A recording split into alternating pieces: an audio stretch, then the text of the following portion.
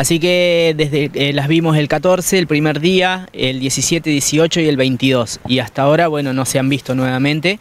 Eh, sí las han visto también en esos mismos días en Ensenada y Bahía Rosas y en Lobería. Y las hemos llegado a ver hasta pasando el, espigón. ¿sí? Eh, están viniendo para este lado todos los años, por suerte.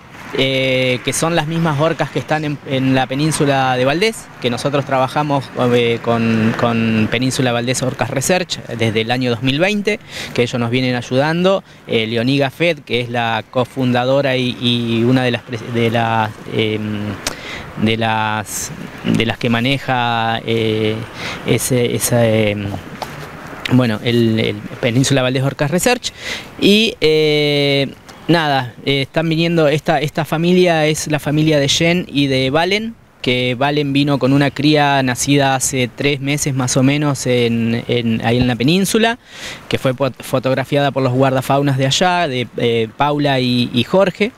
Eh, y bueno, y tenemos la suerte de tenerla en estas aguas ahora en, estos, en estos días, ¿no? Ojalá que las volvamos a ver, porque como te digo, hace unos días que no se ven, puede ser por el tiempo, pueden ser que se hayan ido. Así que bueno. Tienen el comportamiento que en realidad están de paso por aquí, ¿no? Sí, en realidad vienen de paso, como, eh, como también estuvimos con, eh, tuvimos la suerte de tener a una cría hace dos años, eh, se quedaron casi un mes la anterior vez, que, que es la cría de Conque que esa fue la que los chicos del Cóndor exactamente bautizaron.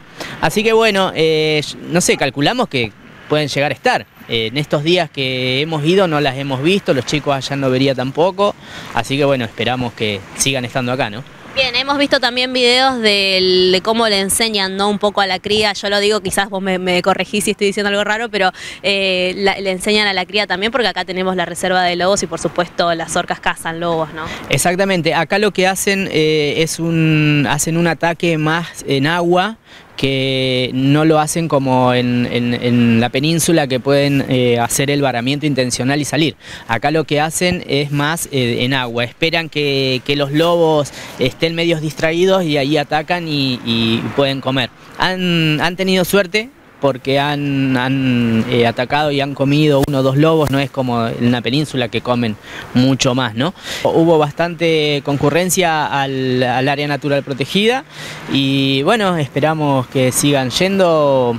El, área está abierto desde las 10 de la mañana hasta las 4 eh, y media todos los días y, bueno, esperemos que, vuelvan las orcas para, para que den un espectáculo, ¿no?